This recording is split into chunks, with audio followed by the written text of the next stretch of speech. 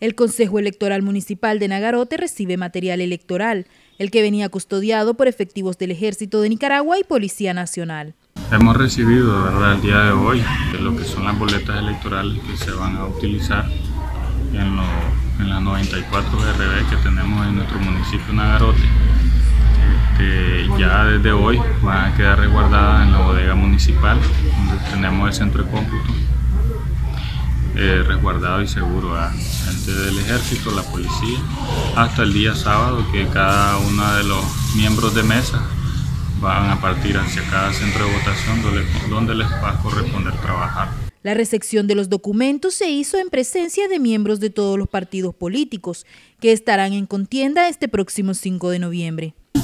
Gracias a Dios todo está tranquilo.